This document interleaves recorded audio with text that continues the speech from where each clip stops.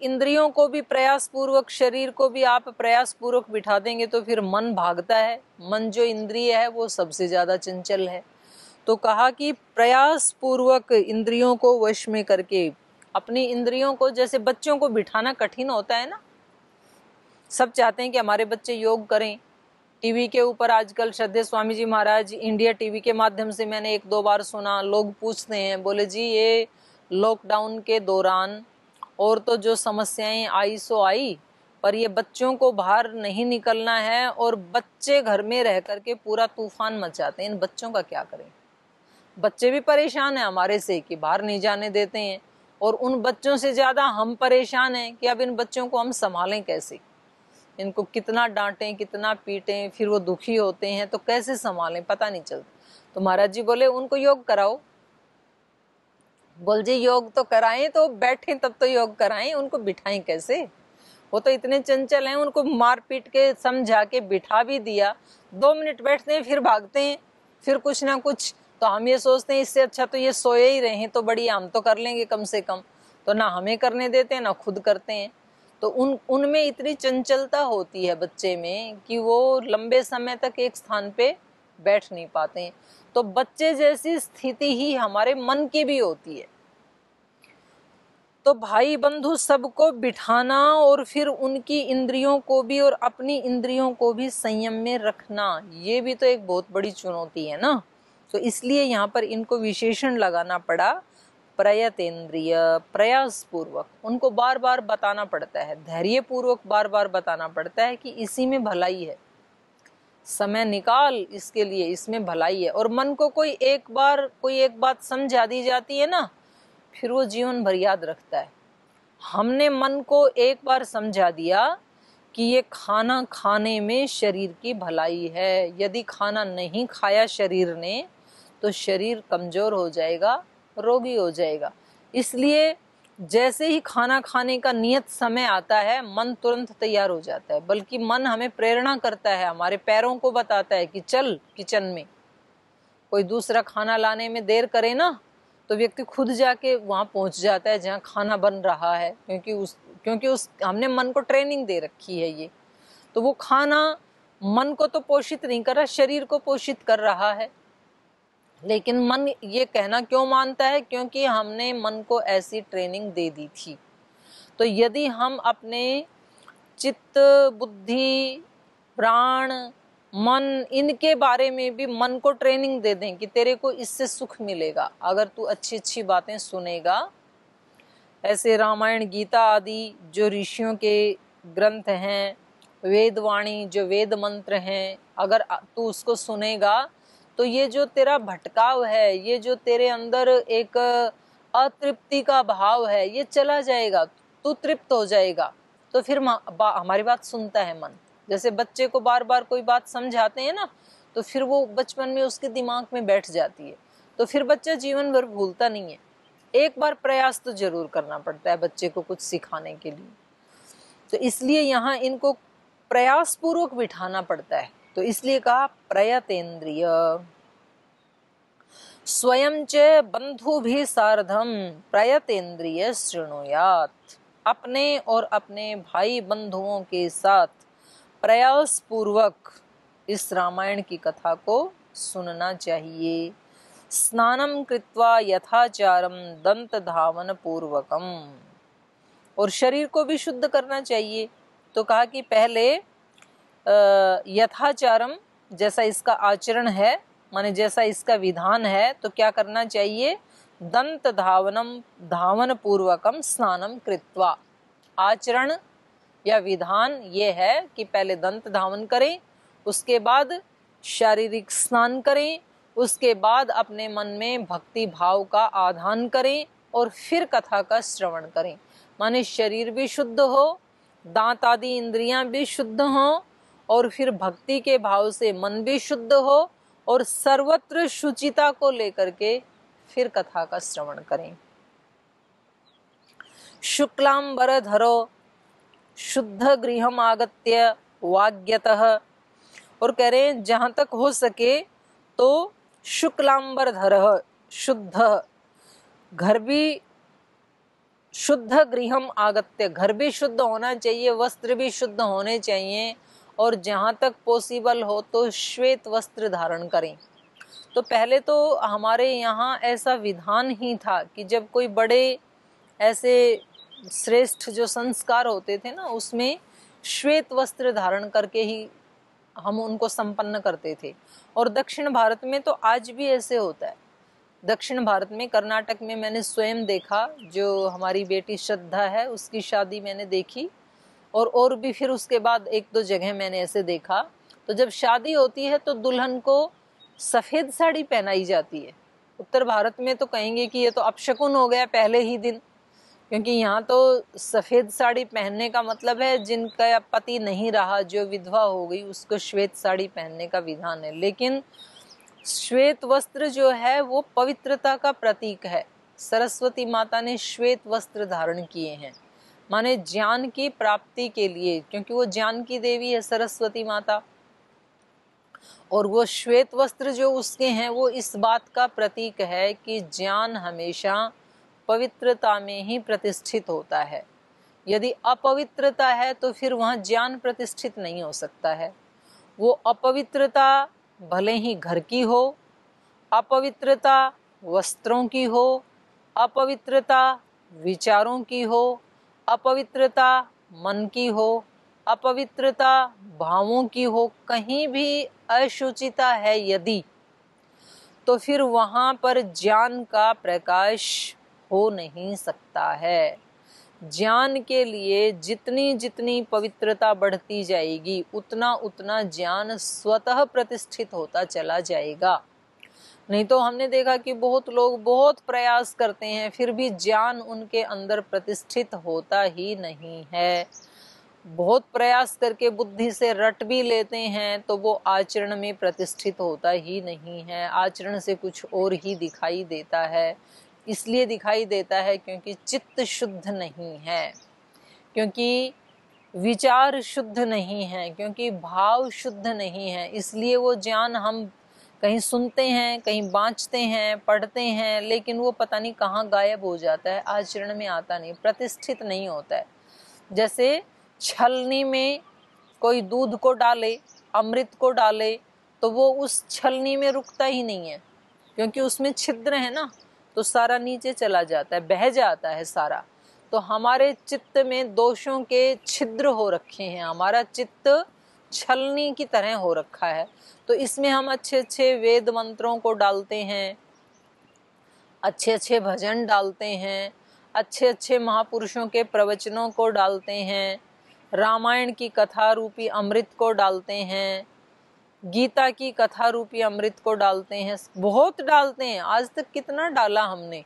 लेकिन क्योंकि चित्त में अभी छेद हैं तो वो सारा बह जाता है छिद्र होने के कारण। वेद में भी, अथर्व वेद में भी ये मंत्र आया, शुरू में ही आया। मये वस्तु मई श्रुतम मेरा सुना हुआ मुझमें ठहर जाए, अवस्थित हो जाए। सुनना भी दुर्लभ है, सुनाने वाला भी दुर्लभ है, और सुनाने वाला और सुनने वाला दोनों मिल जाए तो सुना हुआ ठहरना दुर्लभ है फिर। तो निकल जाता है कहीं। तो इसलिए यहाँ इन्होंने क्या कहा? उसके लिए वस्त्र भी श्वेत हो तो ज़्यादा अच्छा है। माने सब जगह शुचिता होनी चाहिए। शुचिता होगी तो ज्ञान ठहरेगा। सरस्वती माता कहाँ निवास करती है? जहाँ शुचिता हो। वो श्वेत कमल पे विराजती हैं। श्वेत कमल के मतलब ये नहीं है कि वो कोई महिला हैं और कहीं कमल पे बैठी हैं, ऐसे सफ़ेद साड़ी बाँध करके। वो तो वो आलंकारिक चित्रण है। माने जिसके चित्त में शुचिता होगी। और जो कमल होता है, उसका ये स्वभाव होता है कि जितना जितना कीचड़ या पानी बढ़ता है, उतना उतना उसकी नाल ऊपर बढ़ जाती है तो वो उसको छूता नहीं है। तो प्रतिकूलताएँ जो हैं, प्रतिकूलताओं के कीचड़ में तो हम रहते ही हैं रोज़ाना इस संसार में। तो संसार चेंज नहीं होगा कभी भी। संसार की जैसे जैसे कीचड़, जैसे जैसे प्रतिकूलताएँ बढ़ती जाएँ, वैसे वैसे व्यक्ति अपनी साधना को और बढ़ाता जाए। वैसे वैसे वो अपनी शुचिता को बढ़ाता जाए ये एक उपाय है। तो फिर वो ज्ञान हमारा व्यर्थ नहीं जाता प्रतिष्ठित हो जाता है। शुक्लांबरधर शुद्ध गृहम वाग्यत। हम्म, वाग्यत माने मौन भाव से। प्रक्षाल्य पादौ दोनों पैरों को धो करके माने ऐसे घर में जहाँ रामायण की कथा हो रही है तो वो घर भी शुद्ध होना चाहिए। उस कथा को जो वाचन करने वाला है, वो हो सके तो श्वेत वस्त्र धारण करने वाला होना चाहिए। जैसे हमारे तो सन्यासी के वस्त्र हैं तो हमारे यहाँ कोई नो चेंज लेकिन ये जो सन्यासी के वस्त्र हैं ना, ये भी, ये अग्नि का कलर है। तो अग्नि जो है, वो सब दोषों का नाश कर देने वाली होती है। कोई पदार्थ की जब शुद्धि करनी होती है तो उसको आग से गुजारा जाता है। सीता माता की भी पवित्रता की जब परीक्षा की गई तो उसको अग्नि परीक्षा देनी पड़ी। उसको अग्नि से गुजारना पड़ा। जब किसी चीज़ के सोने को जब शुद्ध करना होता है तो उसको अग्नि से गुजारा जाता है। तो उसके सारे दोष हट जाते हैं और सोना जो है, वो कुंदन बन के निकलता है। पड़ा भट्टी में जब सोना, पथिक वो बन गया कुंदन। प्रभु जब कष्ट देता है तो घबराना नहीं चाहिए। तो ये वस्त्र तो अग्नि के प्रतीक हैं तो चलो कोई बात नहीं, ये पहन सकते हैं। बाकी दूसरे, जिस घर में इस कथा का वाचन हो या श्रवण हो तो वहाँ जो लोग बाँचने वाले और श्रवण करने वाले जो श्रोता और वक्ता हैं तो उनके वस्त्र भी साफ़ सुथरे हों, हो सके तो श्वेत वस्त्र हों और घर भी बिल्कुल श्वेत हो साफ़ सुथरा हो, शुचिता से पूर्ण हो, ऐसे घर में आकर के पूरा परिवार, भाई बंधुओं सहित पादव प्रक्षाल्य, क्योंकि चल के आए हैं ना तो कुछ कीचड़, कुछ धूल मिट्टी लगी होगी पैरों में तो विधान ये है, गुरुद्वारे आदि में तो गुरुद्वारे में प्रवेश करने से पहले वो एक ऐसे उन्होंने सिस्टम बना के रखते हैं कि उस रास्ते में थोड़ा सा पानी वहाँ पर ऐसा एक वो बना देते हैं कि जो रास्ते से गुजर के जाएँगे तो उस पानी में पैर रख के वो आगे जाएँगे। और हमारे यहाँ वैदिक परंपरा में भी ऐसा ही विधान था कि कहीं यज्ञशाला में जा रहे हैं या कथा श्रवण आदि करना है तो पहले हाथ पैर धोते हैं बाहर से आने वाले व्यक्ति। तो यहाँ भी ऐसे ही बताया पादव प्रक्षाल्य, आचम्य और फिर आचमन करके। तो संध्या आदि करते हैं या हवन करते हैं तो वहाँ भी आचमन का विधान है। तीन बार आचमन करते हैं हम। यहाँ भी आचमन कहा, आचम्य स्मरेन नारायणम प्रभु। और नारायण प्रभु का स्मरण करते हुए, पैर धोते हुए भी, आचमन करते हुए भी, उस घर में आए हैं तो आते हुए भी, वो स्मरण चलता रहना चाहिए। माने उसी भाव में प्रवेश करें कथा श्रवण करने के लिए। नित्यं देवार्चनं कृत्वा पश्चात् सङ्कल्पपूर्वकं रामायणपुस्तकं च अर्चयेत् भक्तिभावत। आवाहन्नासनाद्यैश्च गन्धपुष्पादिभिव्रतिः। ॐ नमो नारायणाय इति पूजयेत् भक्तितत्परः एकवारं, द्विवारं वा, त्रिवारं वापि शक्तितः। होमं कुर्यात् प्रयत्नेन सर्वपापनिवर्तये। एवं यः प्रयतः कुर्यात् रामायणविधिं तथा, स याति विष्णुभवनं पुनरावृत्तिदुर्लभम् रामायणव्रतधरो, धर्मकारी च सत् तमः। चाण्डालं पतितं वापि वस्त्रान्नेनापि नार्चयेत्। और क्या करना चाहिए? विधि चल रही है ये। विधि में और क्या आता है? नित्यम देवार्चनम कृत्वा। जब कथा शुरू हो गई तो प्रतिदिन देवार्चन करके, देवों का पूजन करके, देवों का पूजन करके इसका मतलब क्या है? देव क्या है? ब्रह्मांड में जो देव हैं तो उनकी पूजा हम कैसे करें? जैसे अग्नि, जल, वायु, पृथ्वी, आकाश, ये हमारे देव हैं। तो जब हम यज्ञ आदि करते हैं तो इनकी शुद्धि होती है। जब हम इनका दुरुपयोग नहीं करते हैं तो भी इनकी शुद्धि होती है। होम आदि करने से, हवन आदि करने से वायु की इन्वायरमेंट की शुद्धि होती है। और दूसरे देव हैं हमारी इंद्रियाँ। तो उन इंद्रियों का पूजा अर्चन करके, उनकी पूजा अर्चन क्या है? उनकी भी शुद्धि करके जिस जिस आहार से वो जिस जिस मटेरियल से वो इंद्रियाँ शुद्ध होती हैं, वैसा उनको दे करके।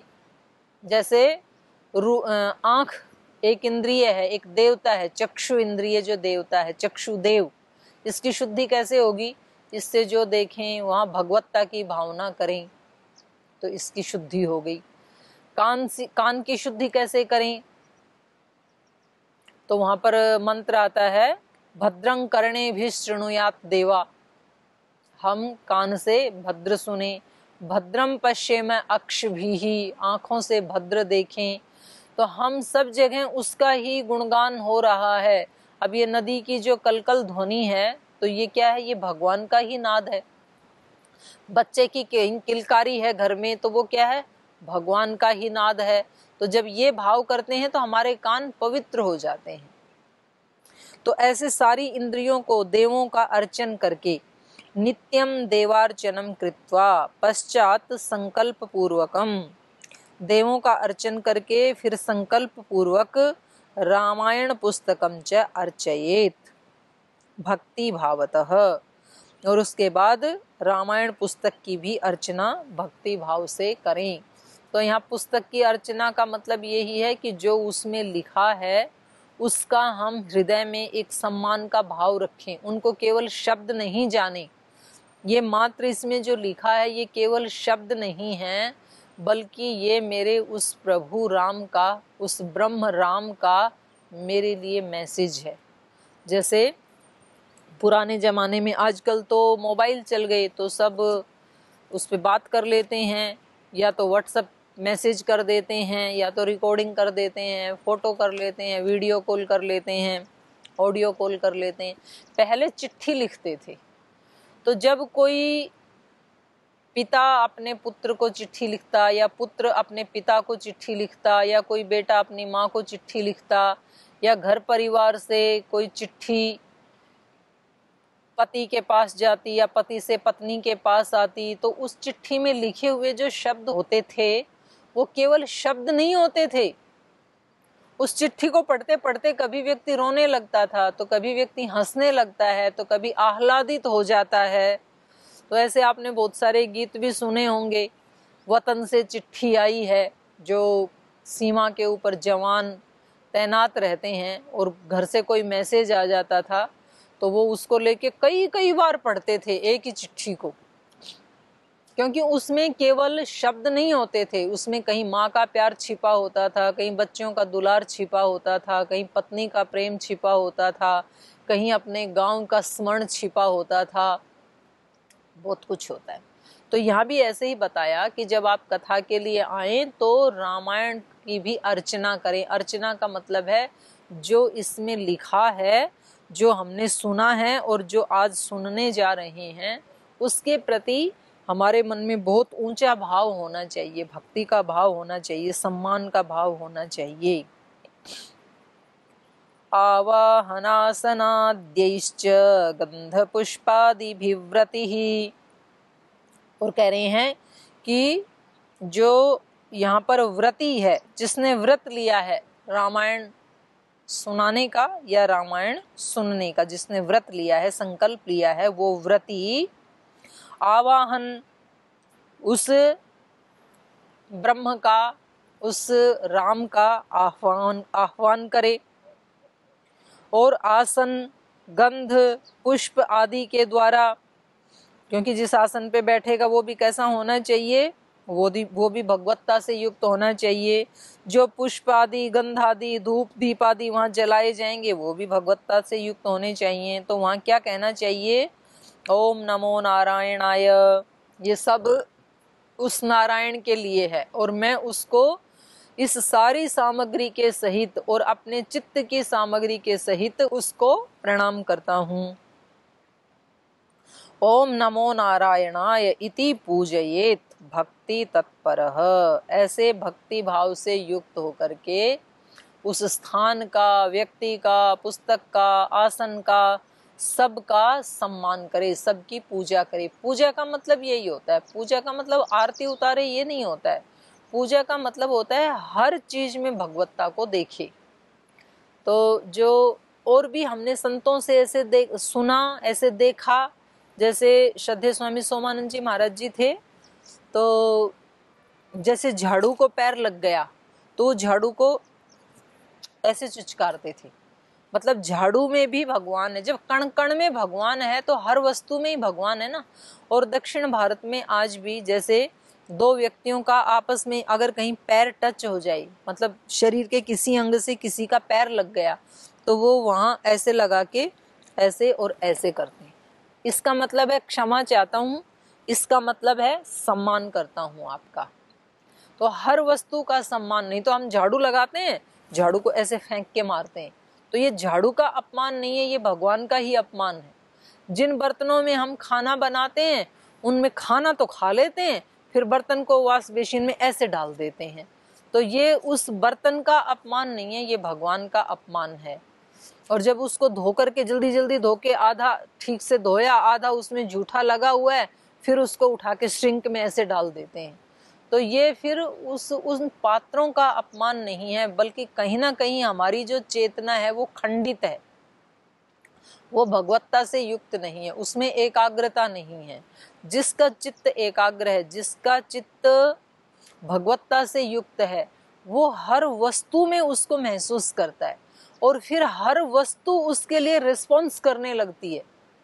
मतलब उसको ये शुरू में तो केवल अभ्यास करना होता है, मन से ऐसे मानना पड़ता है, उसके बाद कि भाई इसमें भी भगवान है, ऐसा वो शुरू में तो मन से मान के वो आचरण करने लगता है। बाद में उसको वहाँ से भी उसको रिस्पॉन्स मिलता है। और अगर किसी को ये भावना नहीं है तो जड़ में तो उसको क्या रिस्पॉन्स मिलेगा? उसको तो चेतन में भी रिस्पॉन्स नहीं मिलता है। चेतन में भी, उसको तो माता पिता में, गुरुजनों में भी, उनको तो हैवान शैतान दिखाई देता है, भगवान नहीं दिखाई देता है तो उसका तो क्या कर सकते हैं? उसका कुछ नहीं कर सकते हैं। तो यहाँ सब वस्तुओं का पूजन अर्चन करने का अभिप्राय इतना ही है कि ये सब ये सब भी भक्ति, भगवान से युक्त ही हैं, भगवत्ता से युक्त ही हैं। ऐसा भक्ति भाव से तत्पर होकर जितना जितना किसी छोटी सी क्रिया को भी बहुत भक्ति भाव से करते हैं तो उस, वहाँ से हमें प्रसाद मिल जाता है, हमारा चित्त शुद्ध हो जाता है। भक्ति का परिणाम क्या है? भक्ति क्यों करते हैं हम? ताकि हमारा चित्त शुद्ध हो जाए, चित्त की शुद्धि के लिए, बुद्धि की शुद्धि के लिए, मन की शुद्धि के लिए तो सारी उपासनाएँ, कर्म, कांड, गीता, रामायण, भागवत, हवन पूजन, ध्यान, ये सब किसके लिए हैं? ये सब अपने चित्त की शुद्धि के लिए हैं। और मैं कहती हूँ, अगर कोई बहन अपने घर में खाना बनाते हुए उस भाव को रख करके यदि भजन गाते गाते पवित्र भाव से और मैं अपने बच्चों के लिए, अपने पति के लिए, अपने सास ससुर के लिए, अपने माता पिता के लिए, अपने घर में रहने वाले अन्य जो सदस्य हैं अतिथि गण हैं नौकर चाकर हैं उन सब के लिए भगवान का प्रसाद तैयार कर रही हूँ। और इस प्रसाद में मैं अपनी भक्ति की एक भावना भी घोल रही हूँ। जब वो दाल को या सब्ज़ी को कड़छी से घुमाती है तो उस घुमाने के साथ साथ उसमें वो भक्ति को भी घोलती जा रही है। वो अपने चित्त की, प्रेम की भावना को भी उसमें मिक्सअप करती जा रही है। जब वो उस दाल में तड़का लगाती है, छोंक लगाती है तो वो अपने अंदर की भगवत्ता का भी छोंक उसमें डाल देती है। वो कहती है, ये केवल दाल नहीं है, इसमें भगवत्ता मिली हुई है। ये केवल खीर नहीं है, ये प्रभु चरणों का चरणामृत है, ये उसका प्रसाद है। ऐसा जब कोई भाव लेकर के खाना बनाती है तो मुझे तो सौ प्रतिशत विश्वास है कि उसके हाथ का खाना खाने के बाद कोई व्यक्ति रोगी नहीं हो सकता है। शारीरिक रूप से भी रोगी नहीं हो सकता है मानसिक रूप से भी रोगी नहीं हो सकता है। इसलिए इस देश की महिलाओं के पास वो शक्ति है कि यदि वो अपनी उस शक्ति का प्रयोग करें तो इस छोटी सी विधि के द्वारा वो इस देश में आरोग्य ला सकती हैं, पवित्रता ला सकती हैं, अशांति को मिटा सकती हैं और सात्विकता और पवित्रता को ला सकती है। क्योंकि खाना तो सबको गृहिणी के हाथ से ही है। बच्चे भी उसी के हाथ का खाते हैं, पति भी उसी के हाथ का खाते हैं, बड़े बुज़ुर्ग भी, नौकर चाकर भी। तो उनसे आप जैसा आचरण करवाना चाहते हैं, वो भक्ति भाव, वो पवित्रता, वो आप उस खाने में मिला दो, जो आप उनसे करवाना चाहते हैं। और निश्चित रूप से वो वैसा ही करेंगे। और जब हम खाना ही ऐसे झुंझलाते हुए बनाते हैं, टेंशन में भर करके बनाते हैं, इरिटेशन से युक्त होकर के, इरिटेट होकर के बनाते हैं तो वो सारा उसमें घोल देते हैं फिर। क्रोध से युक्त होकर के बनाते हैं, गुस्से से युक्त होकर के बनाते हैं। तो अब जो खाने वाला है ना, उसका भी गुस्सा बढ़ेगा, उसकी भी टेंशन बढ़ेगी, उसका भी इरिटेशन बढ़ेगा और घर में एक ऐसा माहौल बन जाएगा कि ना बनाने वाले को खुशी मिल रही है, ना खाने वाले को मिल रही है। वो कहता है कि खाना तो पड़ता है इसके हाथ का, लेकिन मतलब परेशान करके रखा हुआ है इसने। तो घर का सारा वायुमंडल ही नरक बन जाता है। तो यहाँ पर जो रामायण की कथा सुनने की जो विधि बताई जा रही है, उसमें एक एक चीज़ में पवित्रता की बात कही जा रही है। वस्त्र कैसे हो, घर कैसा हो, जब वहाँ आए तो हाथ पैर धो करके आए, और जब वहाँ बैठे तो किस भक्ति की भावना से बैठे, पुस्तक के प्रति भी कैसी भावना रखे दीप, फूल, वहाँ पर जो वस्तुएँ, सामग्री रखे, उनके प्रति भी कैसी भावना रखे। जैसे जैसे ये भक्ति की श्रद्धा की भावना बढ़ती है, श्रद्धा सबसे बड़ी चीज़ है संसार में, आध्यात्मिक मार्ग में। सबसे ऊँचा स्थान है श्रद्धा का, भक्ति का। ज्ञान से भी ऊँचा ज्ञान भी उसी से मिलता है, श्रद्धा और भक्ति से। उससे पहले ज्ञान भी नहीं मिलता है। तो जो ये श्रद्धा और भक्ति की भावना इस अनुष्ठान आदि में बताई गई है। ये श्रद्धा और भक्ति की भावना हम हमारे प्रत्येक कर्म के साथ भी जोड़ सकते हैं। तो फिर हमारा पूरा जीवन ही एक अनुष्ठान बन जाएगा। श्री अरविंद आश्रम में रहने वाली जो माता जी थी तो वो ऐसे भगवान से प्रार्थना करती थी। और श्री अरविंद की भी एक छोटी सी पुस्तक है दुर्गा स्तोत्र या दुर्गा पूजा, ऐसे करके छोटी सी पुस्तक तो उसमें एक पंक्ति वो लिखते हैं कि, हे माँ, ऐसी कृपा कर कि मेरा ये पूरा जीवन अखंड दुर्गा पूजा बन जाए। मतलब केवल नवरात्र में ही मैं दुर्गा पूजा ना करूँ। दुर्गा मतलब जो दुर्गति का नाश करने वाली शक्ति है, अर्थात परमात्मा दुर्गति का नाश वही कर सकता है। उस शक्ति की मैं पूजा करता हूँ जो सब दुर्गतियों का, दुर्गुणों का नाश करती है।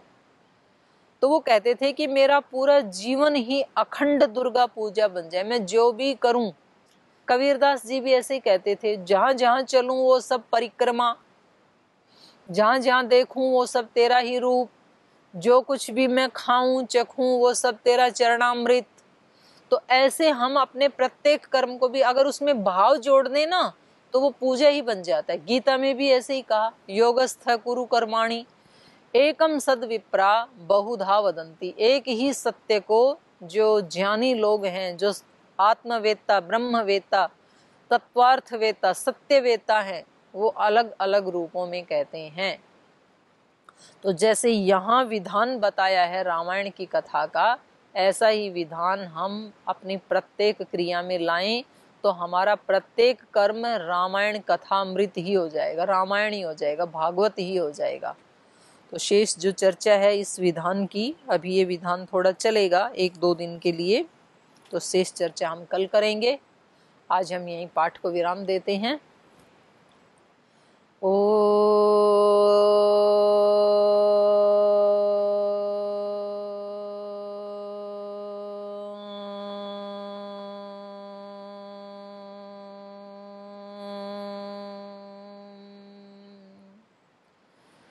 शांति शांति शांति